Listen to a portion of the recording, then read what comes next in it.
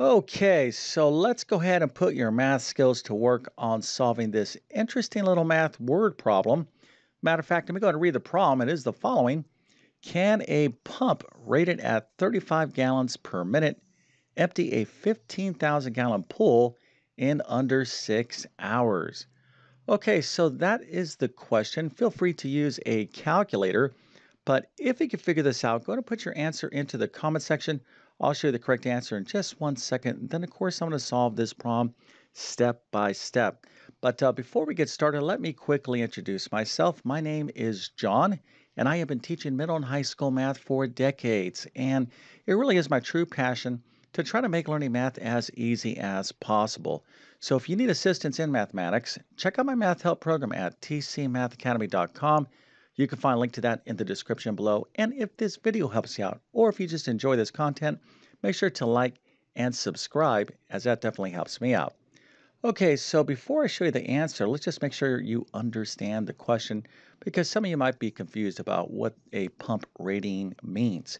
So this simply means a pump rated at simply means this pump is able to or has the capacity or ability to move, let's suppose, say 35 gallons of water in one minute. So if we had a bucket of water and it had 35 gallons, this particular pump could empty that bucket out in one minute. So that's what this uh, uh, pump rating uh, indicates.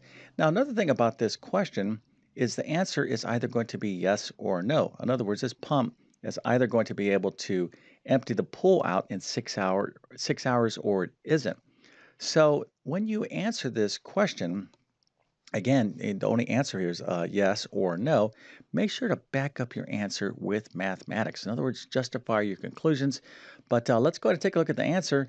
If you did this right, okay, you said no, this particular pump cannot do this. And of course, you have the math uh, to back up that answer. But if you have the math to back up this answer and you said no, well, we have to celebrate by giving you a nice little happy face, and A plus, a 100% and multiple stars so you can brag to your friends and family that indeed you are a certified professional expert in figuring out basic math word problems that involve rates.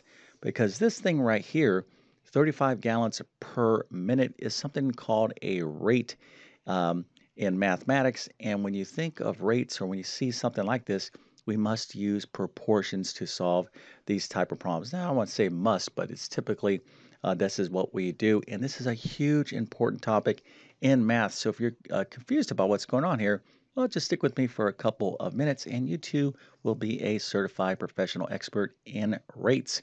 Okay, so let's go ahead and get going here. So again, here's the problem. And anytime you're dealing with a math word problem, always use the rule of three. In other words, read the problem three times. Make sure you understand everything about the problem, particularly the question. Now, let's suppose some of you are uh, math students in a class and you're taking a test, quiz, exam, whatever the case might be, and you're confused about a question or some an aspect or of a part of a question. You're like, I don't really understand what the question means. Always raise your hands. Always, always, always ask questions. Okay, that is a huge part of learning. So uh, even if your teacher can't tell you, uh, you know, can't clarify what something means, let them, you know, um, in other words, always ask. Because sometimes you'll get lucky. The teacher might like, oh, you know, this is what this means, or do that. So, anyways, always ask if you're not sure about something. But of course, we went over this particular problem and we need to understand how we can approach this problem to determine whether this pump can, in fact, empty this 15,000 gallon pool in six hours. So, uh, what you want to do in any math word problem, uh, if possible, is model or visualize the problem. And of course, here we can kind of maybe sketch out a little pool, kind of see what's going on, and maybe uh, look for clues if we can uh, visual kind of visualize or model the problem. So uh, here is our lovely pool. It has 15,000 gallons of water and we want to empty it out with this pump and this pump can um, move 35 gallons per minute. Okay, this is the rating of the pump. So is this going to be enough uh, pumping capacity uh, to empty this pool in six hours? Well, of course, we need to figure this question out. But the first thing we need to notice is that we're dealing with a rate. Okay, this is a huge topic in mathematics.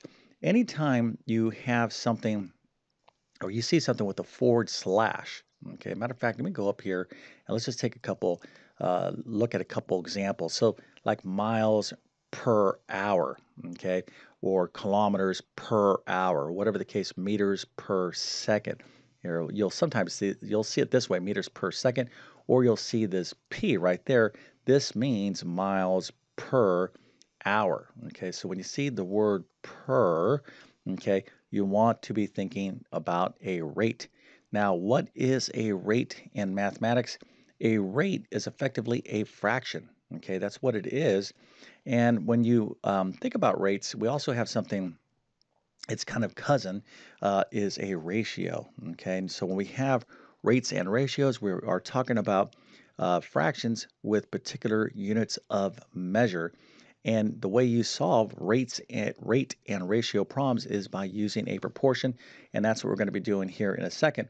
But let's just make sure we understand what 35 gallons uh, per minute means. Okay, so again, this is a rate, but it's effectively a fraction. Okay, so it's 35 gallons per is the fraction bar one minute. So this pump can move 35 gallons per one minute, and there you go. So now we have expressed uh, this pump uh, rating as a fraction. Uh, so now, what do we do with this? Well, we need to uh, recognize again that hey we do have a rate here so light bulbs uh, and sirens should be going off anytime you're like oh i see you know a rate or a ratio we want to use proportions to solve this so let's go ahead and see what we're going to do okay well again we're going to be using a proportion but what is a proportion in the first place a proportion is nothing more than two equal fractions now you can see here I already set up the problem, but let's just do a quick review for those of you that don't know what a proportion is. So here is a fraction 1 half, okay? Now can you think of another fraction that is equal to 1 half, equivalent to 1 half? Well, if you're like, well, Mr. YouTube Math Man, how about 5 over 10? I would say, wow, that is perfect. Uh, you, but you can have uh, 3 over 6, 4 over 8, have any number of fractions. But here's the deal.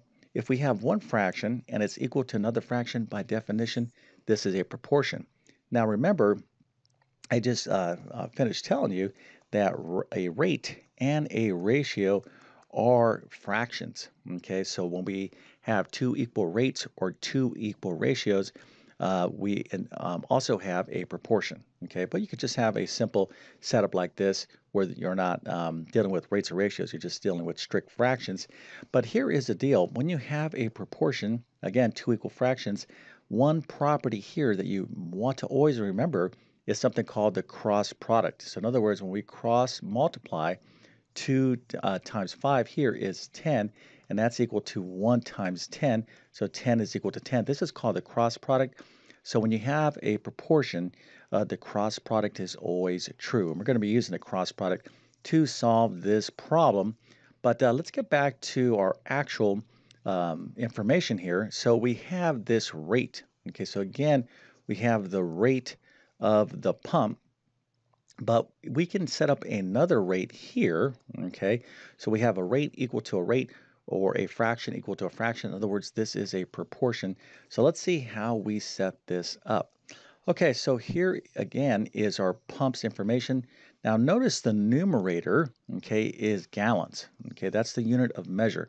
And by the way, by the way, uh, a rate by definition is a fraction where we're comparing two completely different units of measure. So uh, let's take, for example, miles per hour. Okay, miles per hour. So that is, of course, miles per hour written like so. But miles is measuring what? That's distance, and the um, uh, hours is measuring what? Time. So we're comparing uh, distance with time, uh, two completely uh, separate um, uh, units of measure.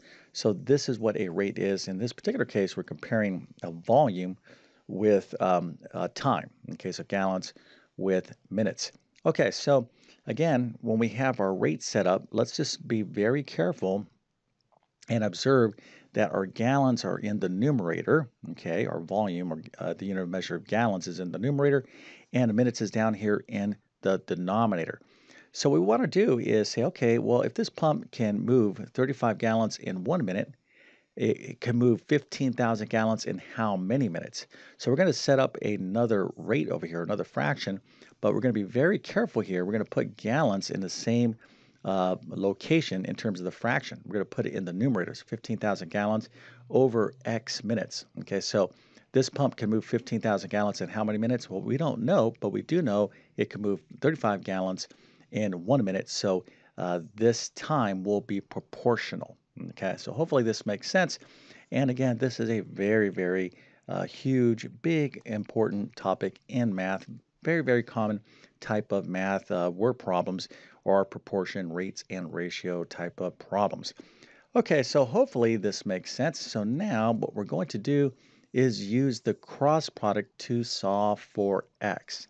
All right, so let's go ahead and take uh, the next step, which of course is having you subscribe to my YouTube channel because I desperately need your support to grow my channel. Matter of fact, if um, if it wasn't for people like yourself, you know, taking the time, you know, your precious, valuable time, and I recognize that, you know, to watch this video, well, you know what? I couldn't do what I want to do, which is to reach as many people as possible and help as many people as possible in mathematics. So I definitely need your support.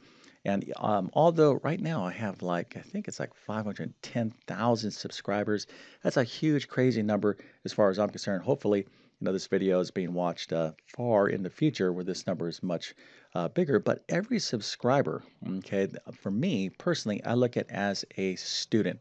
But I do need your support in order to grow my channel and reach as many people as possible that can benefit from my instruction in mathematics because there's nothing worse than having a person saying, I hate math, I'm bad at math, and it's really not their fault because they're frustrated because they're not getting the instruction they need. And I really want to share my years and decades of experience to anyone out there that could benefit from it. Okay, so if you're going to subscribe, by the way, make sure you hit that notification bell to get my latest videos. All right, so let's go ahead and finish up this problem. Okay, so here is our uh, proportion. Now, I'm, I'm not going to keep the units of measure in there for now because we know that x is in minutes. Uh, let's just kind of review. We had gallons up here, minutes over here, gallons right here, and minutes down here. So we have 35 over 1 is equal to 15,000 over x. So we want to solve for x, and how are we going to do that? We're going to use the cross product. So 35 times x is 35x, and that's going to be equal to 1 times 15,000, which of course is 15,000.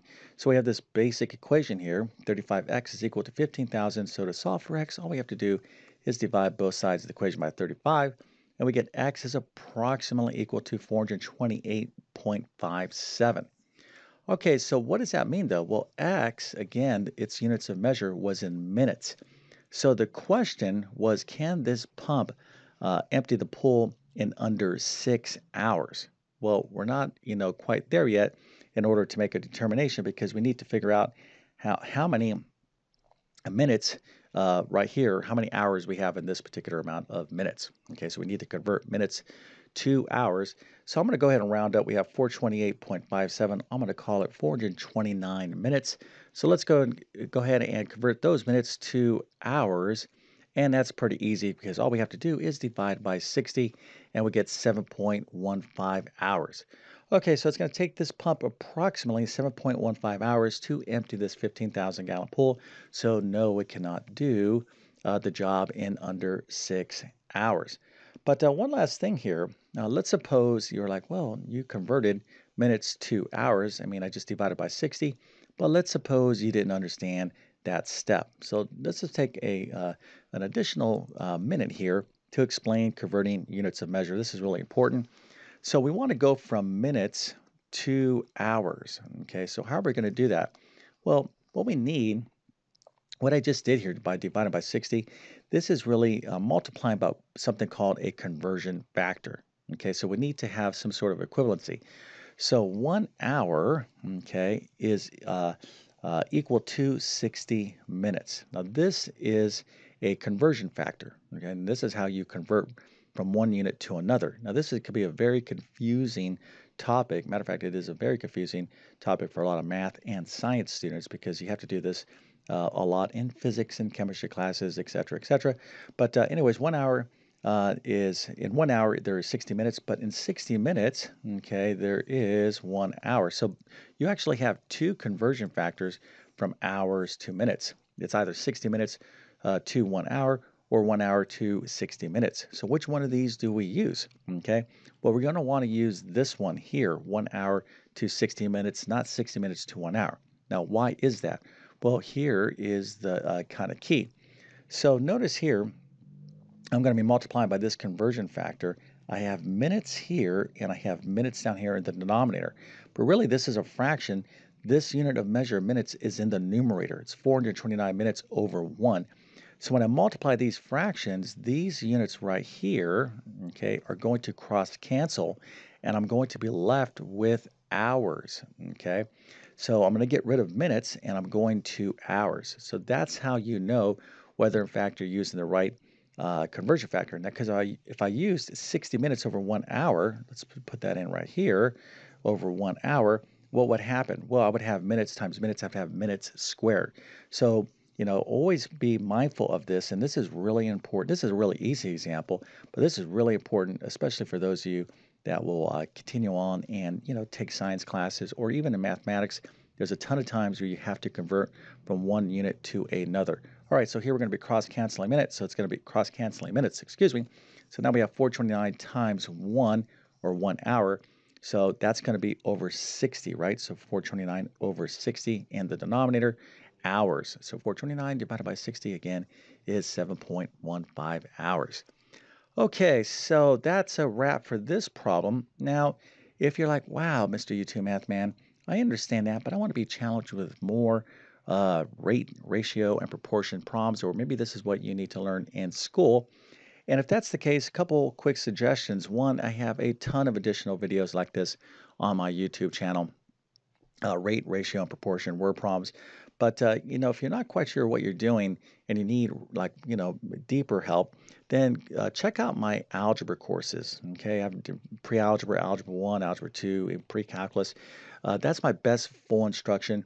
And of course, I teach all of this thoroughly. So if you need like you know a lot more help than what this little video is able to do uh, for you, well then check out those courses. You'll find links to all of that stuff in the description. But uh, hopefully this little video helped you out. And if that's the case, don't forget to like and subscribe. And with that being said, I definitely wish you all the best in your mathematics adventures. Thank you for your time and have a great day.